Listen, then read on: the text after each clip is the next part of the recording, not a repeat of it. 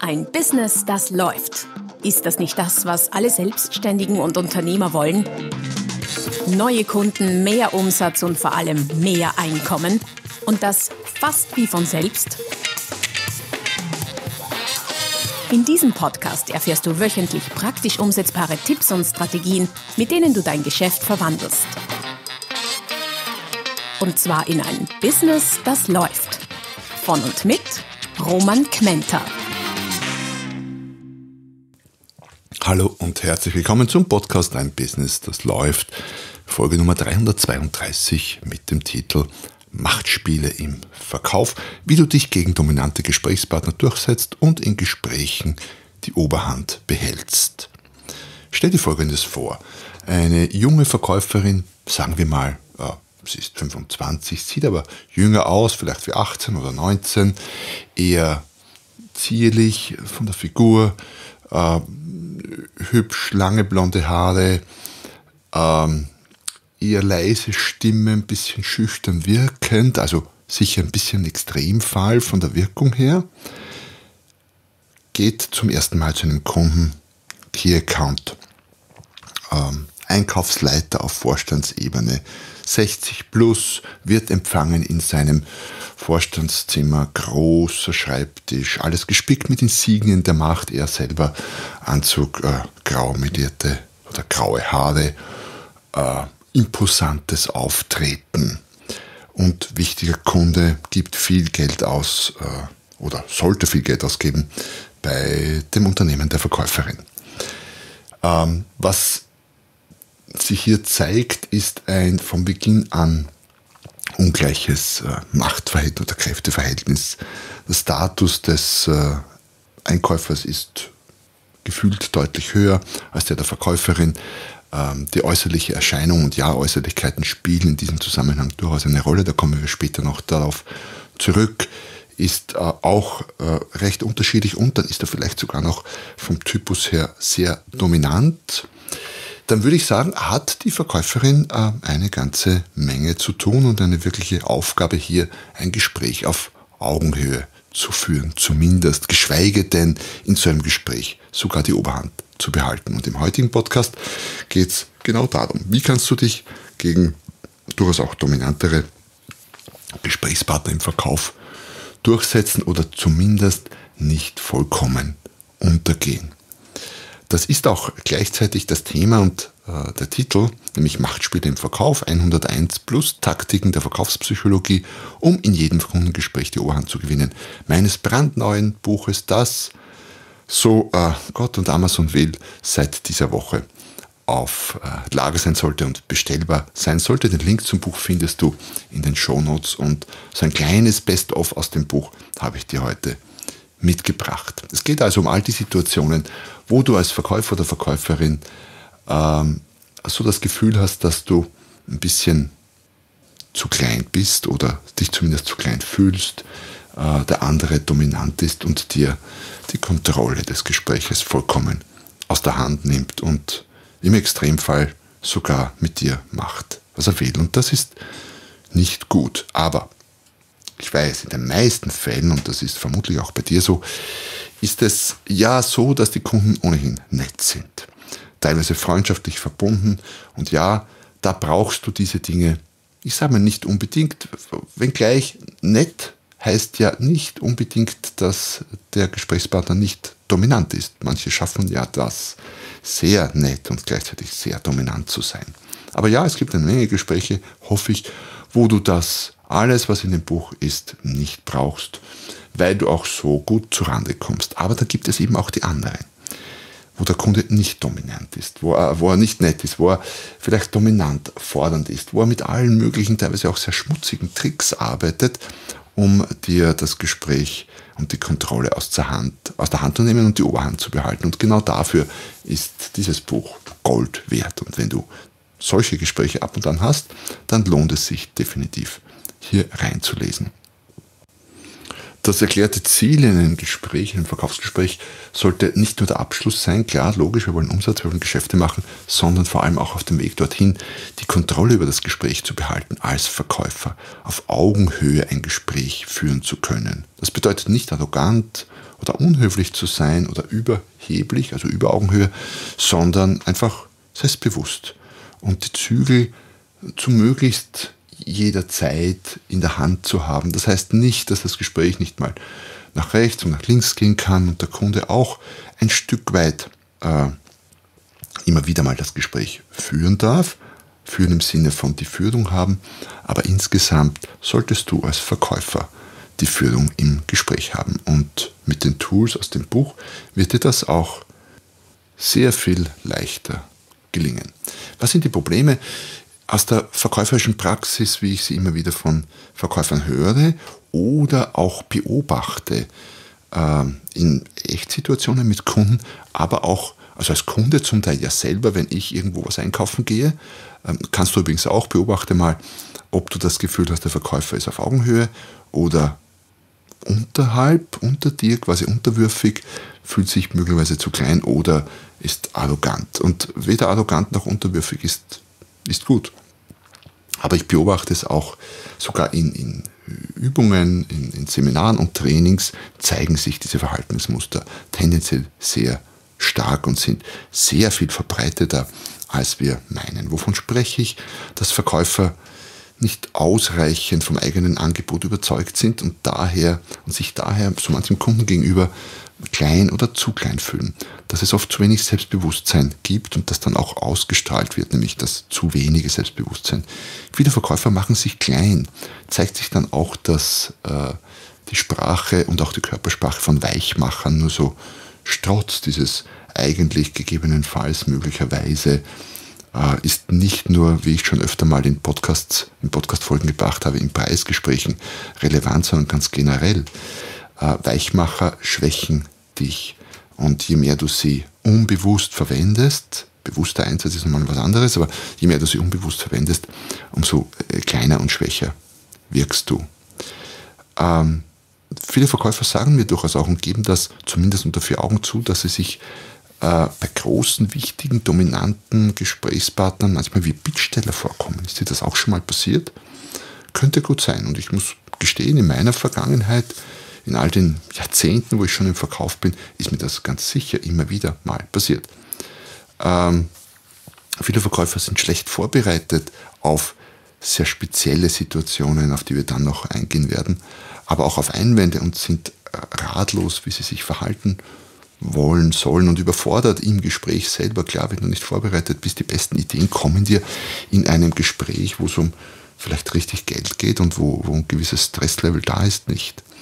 Und äh, was noch dazu kommt, du hast eben nicht immer einen ganz netten und sanften und streichelweichen Gesprächspartner dir gegenüber sitzen, sondern bisweilen äh, gut, top ausgebildete Profis auf der Einkaufsseite, die einfach ähm, hier mehr rausholen wollen für sich aus dem Gespräch äh, und aus dem Angebot, was ja durchaus legitim ist. Das ist ja auch deren Job. Nur du musst halt darauf achten, dass du mindestens so gut ausgebildet und aufgerüstet bist wie diese Gesprächspartner, um hier Parole bieten zu können.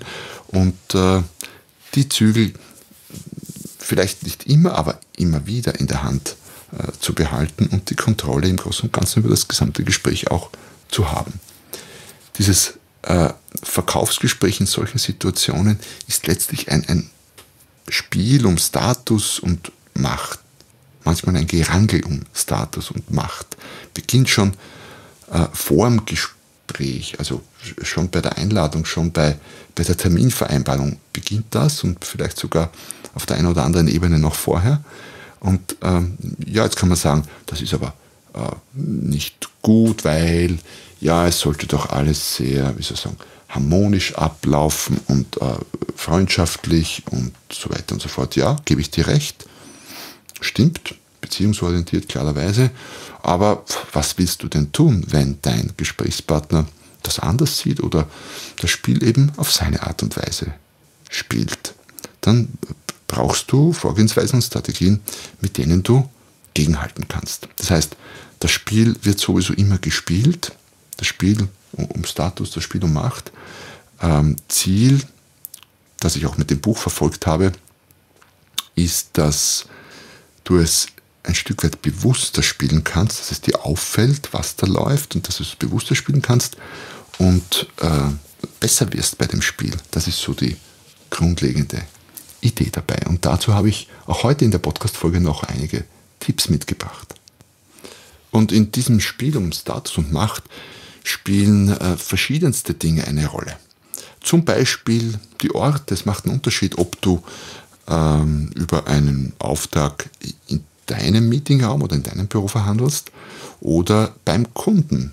Da gibt es schon von Beginn an mal einen Machtunterschied. Man spricht ja auch von Hausmacht. Das heißt, bei dir hast du mehr Macht, wenn es beim Kunden ist, hat der mehr Macht. Das ist kein K.O.-Kriterium, aber es ist halt ein Puzzlestein in diesem ganzen äh, Gesamtbild. Körpersprache spielt eine enorme Rolle, einfach schon aus dem Grund, weil sie äh, uns unbewusst ist. Wir achten nicht permanent auf unsere Körpersprache, aber wir sprechen sie permanent. Und das meiste davon läuft unbewusst. Und da kommt halt äh, unser Gefühl durch. Das heißt, wenn wir uns klein fühlen dem Kunden gegenüber, wenn wir uns als Bittsteller fühlen, dann zeigt sich das in der Körpersprache, aber nicht nur in der Körpersprache, auch in der Stimme und Sprechweise. Nicht nur was du sagst ist entscheidend, sondern auch wie du es sagst welchen Tonfall, welche Stimme, welche Tonhöhe, mit welcher Intensität und so weiter und so fort. Also viele, viele, auch da sage ich hochgradig unbewusste Dinge, die, äh, die, die dir mehr Status geben oder auch Status rauben oder dir mehr Macht geben oder auch dir Macht nehmen. Dein Äußeres ist unglaublich wichtig. Wie trittst du auf? Was hast du an?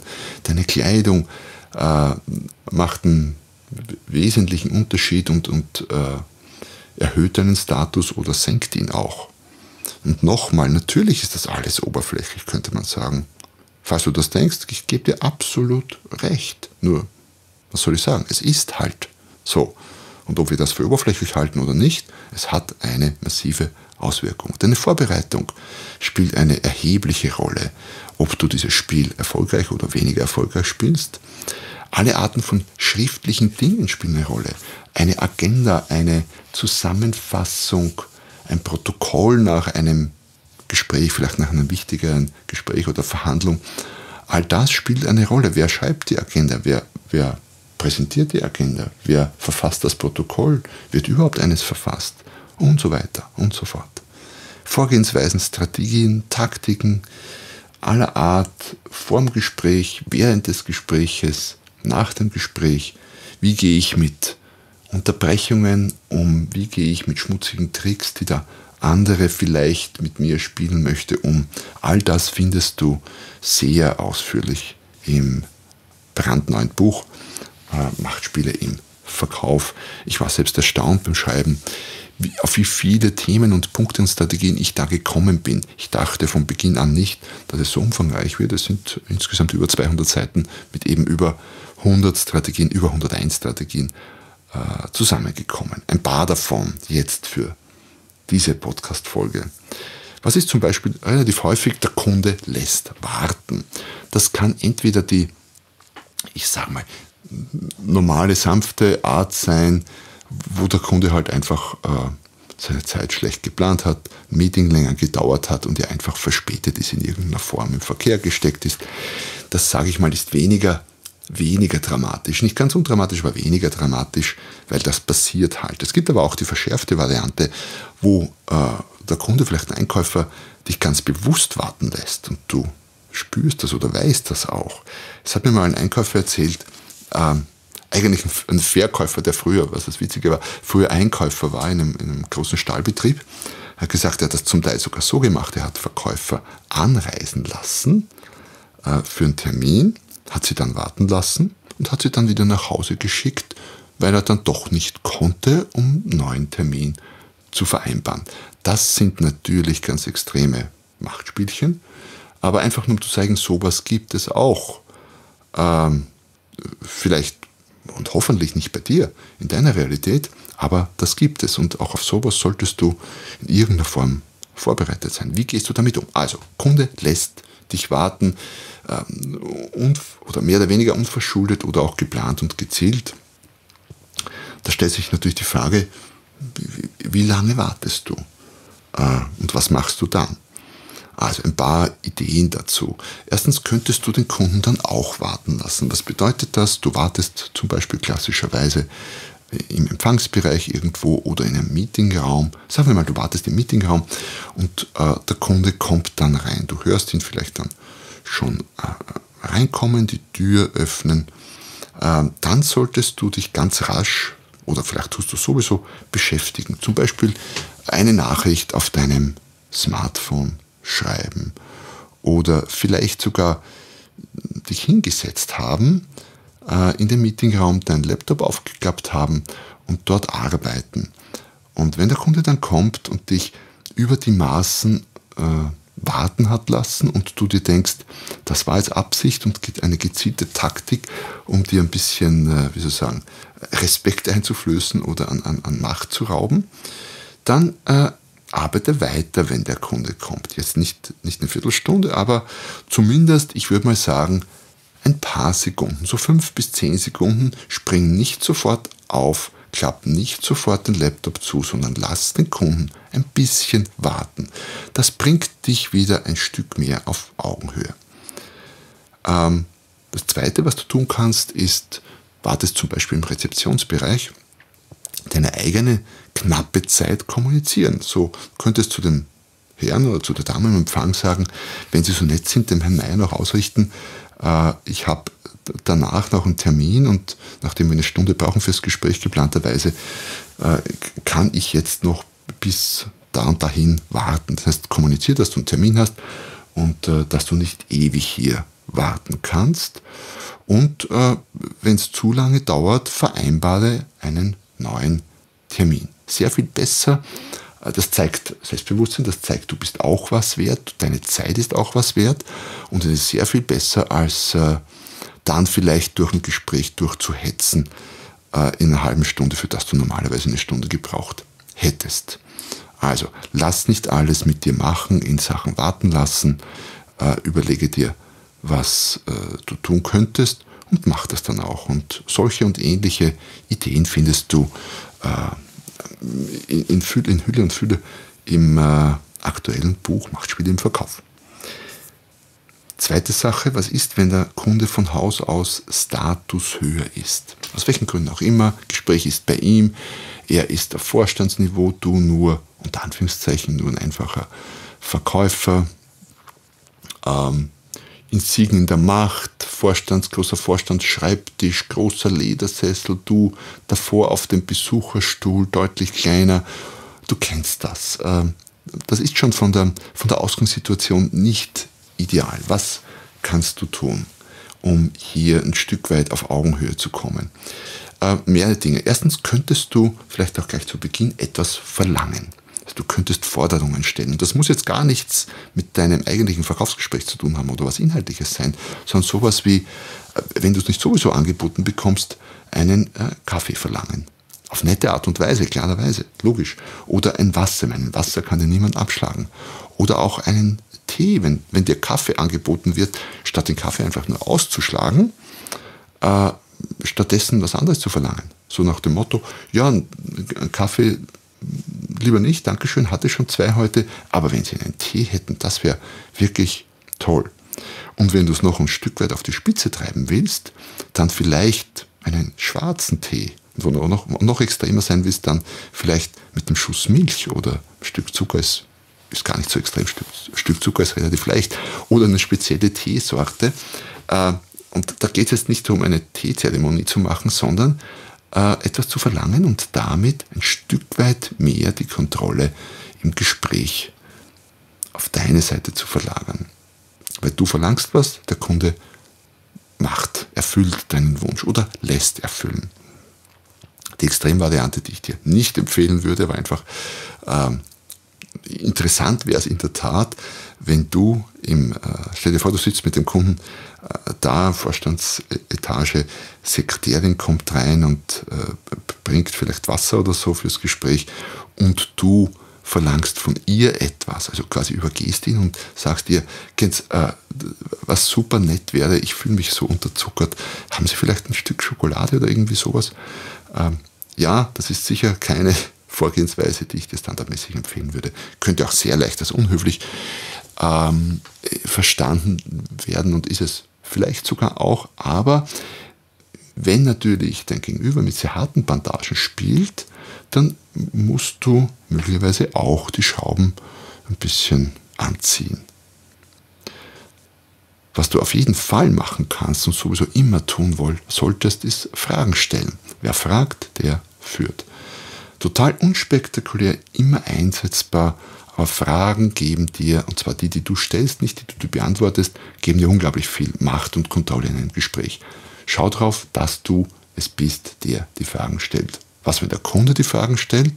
Gegenfrage ist das äh, Mittel der Wahl. Kunde fragt, äh, und was haben Sie mir mitgebracht, Schönes, und was haben Sie anzubieten? Normalerweise verfällt der Verkäufer jetzt sofort in den Antwortmodus und sagt sowas wie, ja, da habe ich das und so weiter und so fort. Und der Kunde sagt, und was gibt es da noch? Also Kunde fragt, Verkäufer antwortet, Kunde fragt, Verkäufer antwortet. Und mit jeder Runde, die ihr so dreht, steigt seine Macht und deine nimmt ab und irgendwann bist du einfach nur mehr der Antwortgeber. Besser wäre es, so zu reagieren, Kunde sagt, und was haben Sie mir Schönes mitgebracht? Darauf zum Beispiel zu sagen, mitgebracht habe ich allerlei. Ob das schön ist, weiß ich nicht. Da müsste ich zuerst von Ihnen wissen, lieber Herr sowieso, was ist denn schön für Sie? Also du parierst das Ganze mit einer Gegenfrage, die du ein bisschen einleitest, so wie ich es gemacht habe, zum Beispiel. Also Wer fragt, der führt, wenn du sonst nichts mitnimmst aus dieser Podcast-Folge, dann schau, dass du die Fragen im Gespräch stellst und damit die Kontrolle und Führung über das Gespräch erhältst oder zurückerhältst. Ganz extrem wichtig. Als drittes Praxisbeispiel habe ich dir noch, oder dritten Praxisfall habe ich dir noch was ein bisschen Extremeres mitgebracht. Was du wahrscheinlich schon erlebt hast, ist, du sitzt im Kundengespräch, plötzlich läutet das Telefon, und zwar das des Kunden, und der Kunde hebt ab und sagt sowas wie, oh, oh, tut mir leid, bin gerade im Gespräch, ich melde mich später und entschuldigt sich dann bei dir. Das äh, kann man durchaus durchgehen lassen, weil hat halt vergessen, das Handy abzudrehen. Was aber, wenn der Kunde abhebt und äh, das Gespräch nicht sofort beendet, sondern ein bisschen telefoniert? Also nicht sofort sagt, ja, du gerade ganz schlecht, sondern sagt, ah, interessant und wie und was. Und du merkst, das ist jetzt irgendwie ein Gespräch, das länger dauern könnte als nur fünf oder zehn Sekunden. Ein, zwei Ideen dazu, was könntest du tun? Erstens könntest du, wenn du merkst, dauert länger, selber telefonieren beginnen oder mit dem Smartphone arbeiten. Das selber telefonieren anfangen ist natürlich die, wie soll ich sagen, härtere Version, äh, härtere Strategie. Du könntest zum Beispiel aufstehen, äh, dich ein paar Schritte entfernen, in die Ecke des Meetingraums gehen und äh, dort telefonieren. Und beim Telefonieren, äh, ich sage mal, so, zu, verstehen, zu verstehen geben, dass du äh, deinem nächsten Termin mitteilst, dass du ein bisschen äh, knapp in der Zeit bist und dass es möglicherweise ein paar Minuten später wirst, wird und damit deinem aktuellen Gesprächspartner kommunizierst, du bist gefragt, dein Terminkalender ist voll und du hast nicht ewig Zeit, das heißt deine Zeit verknappen. Ob du tatsächlich ein Gespräch führst oder nur so tust, als ob, hm, lass ich mal dahingestellt. Ähm, man muss sich immer vor, Augen halten, das, was dein Gesprächspartner hier tut, nämlich im Gespräch in aller Ruhe ein Telefonat entgegenzunehmen und zu telefonieren, ist hochgradig unhöflich und da kann man durchaus mit etwas härteren Bandagen auch selber vorgehen. Die sanftere Variante wäre, sitzen zu bleiben, das Smartphone zu zücken und ich sag mal zu arbeiten beginnen, das heißt Nachrichten zu schreiben, irgendwie sowas. Und dann, sobald der Kunde aufgelegt hat, selber nicht sofort beenden, sondern wieder ein paar Sekunden mehr warten, um so wieder auch zu signalisieren, was du kannst, kann ich auch.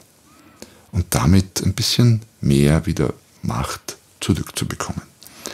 Äh, noch eine Variante, wenn der Kunde telefoniert oder anderweitig abgelenkt ist, es kommt irgendjemand rein äh, und verwickelt ihn in ein Gespräch und der spricht auch tatsächlich mit dem, statt das äh, zu verschieben. Und du merkst, es dauert ein bisschen, ähm, zur Toilette gehen aufstehen, sagen, Entschuldigung, geh kurz zur Toilette, komm dann wieder, dann lass die Zeit auf der Toilette, so dass er dann auch wieder ein bisschen warten muss auf dich. Ja, das waren ein paar, ein paar wenige Beispiele von den vielen, vielen äh, Dingen, die ich im äh, Buch Machtspiel im Verkauf gesammelt habe, mit dem Ziel, dir das Leben deutlich leichter zu machen in so manchen schwierigen verkäuferischen Situationen, die wir alle immer wieder mal haben. Und du wirst da drinnen finden, einerseits sehr einfach und, wie soll ich sagen, sanft umsetzbare Vorgehensweisen, wie zum Beispiel Fragen zu stellen, bis hin zu, ich sage mal, die, die Hardcore-Varianten, die du hoffentlich nie brauchen wirst. Ist in jedem Fall ein Buch, das dir das Leben im Verkauf deutlich leichter machen wird. Ich bin schon gespannt, was du dazu sagst. Freue mich natürlich auf dein Feedback, auf deine Rezension zum Buch. Ich habe übrigens für Testleser äh, diese Woche, also wenn du dich gleich jetzt entscheidest dafür, das äh, Kindle zum halben Preis. Ansonsten Taschenbuch gibt es natürlich auch, klar. Und ich freue mich schon, was du dazu sagst. Wie gesagt, schreib mir gerne auch äh, deine Meinung zum Buch. Schreib mir gerne auch, äh, wenn du noch weitere Ideen hast oder eigene Erlebnisse dazu, entweder per Mail oder auch auf einem der Kanäle, wo ich so vertreten bin. Ähm, für mich insgesamt betrachtet war es sicher eines der spannendsten Bücher, die ich in letzter Zeit geschrieben habe, weil ich eben darauf gekommen bin, dass so viele Verkäufer genau das brauchen und ich freue mich schon, wenn ich vielen Verkäufern äh, bei ihrem Job ein bisschen helfen kann. Link zum Buch findest du in den Show Notes und auch sonst äh, diese Woche sicher auf allen sozialen Medien.